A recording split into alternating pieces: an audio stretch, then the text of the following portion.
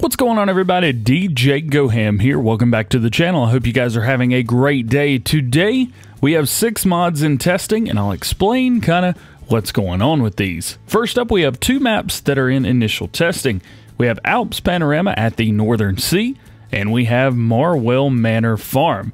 Now, I cannot find any information whatsoever on the Alps Panorama at the Northern Sea. So if you guys could help me out with this one, this one is throwing me for a loop. If you guys could go down in the comment section below if you know any information on Alps Panorama at the Northern Sea, let me know because in my research I found absolutely nothing. However, Marwell Manor Farm on the other hand, that is a different story. So this is from Oxygen David.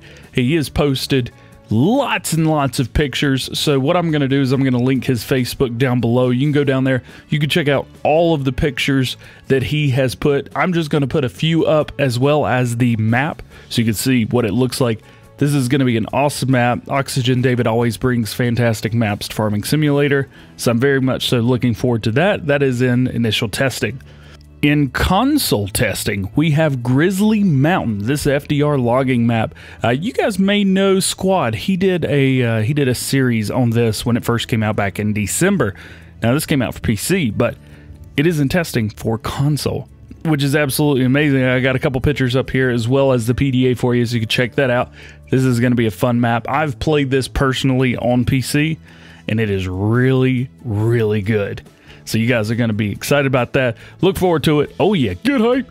We also have in testing for PS4 and Xbox One the Fast Coupler, which is just a quick couple uh, that goes on the front or rear of your tractor. Uh, the picture posted right here is from Farming Simulator 17 because it's a mod that we had then. We also have the Kuhn GMD 2811. Now, the Kuhn is, like I mentioned in the previous video, this is a mower. Now we already have a larger version of this. I believe it's the 4411, but this is the 2811. So I'm guessing there's going to be some differences in size only. I think that's going to be the only difference here. And for PS4 and Xbox One, we have the Bale Trailer 9.75 meter. Now this thing is going to be just your basic, basic bale trailer. It's going to have all the bells and whistles on it. It's a trailer and it will have straps on it so you can strap the bells down, take pallets, whatever like that. Very, very cool, very awesome. And we have 194 mods in testing.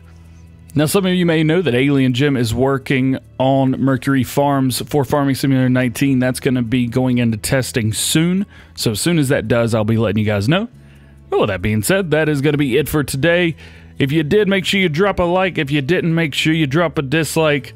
If you haven't already, make sure you subscribe and hit that bell so you know every time we come out with a video and live stream. That being said, hope you guys have a great day, and we will see you later. Peace.